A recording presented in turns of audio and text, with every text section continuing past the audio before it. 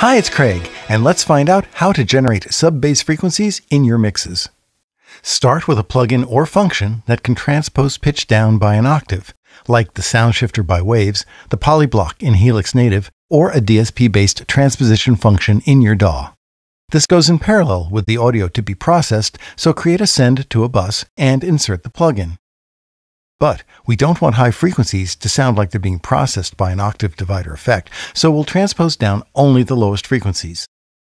Insert a steep low pass filter before the pitch transposer and restrict its range to frequencies below about 250 Hz. Mix the transposed sound in with your audio, and a piano can go from this to this.